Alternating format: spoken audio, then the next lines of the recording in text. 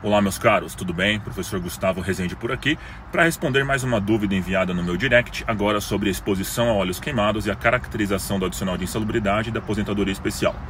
Quando nós falamos de um óleo queimado, é um óleo que passou por um processo de termodegradação, então um aquecimento no motor, no equipamento, que como característica pode liberar subprodutos na forma de hidrocarbonetos policíclicos aromáticos, que são compostos polinucleados com vários anéis benzênicos que têm o potencial de ser carcinogênico.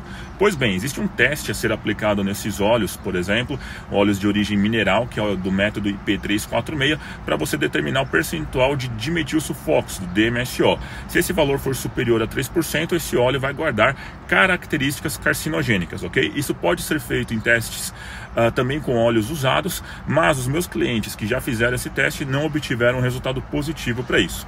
Porém, se existir uma exposição dérmica a esse óleo e o trabalhador não, não tiver uh, acesso a medidas de proteção eficazes, nesse caso vamos pensar no uso de luvas impermeáveis que tenham como característica no seu certificado de aprovação uh, terem uh, essa proteção, essa efetiva proteção ao trabalhador, sim, há margem para fazer o enquadramento pelo anexo 13 da NR15 e no caso da aposentadoria especial na tabela 24 do E-Social, você pode usar o código eh, de derivados do petróleo para fazer essa caracterização lá no evento S2240 do E-Social. Então fica essa rápida dica, meus caros.